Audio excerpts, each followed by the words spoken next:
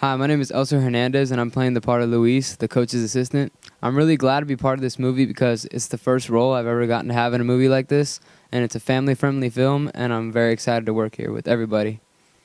And Girly Girls Rule.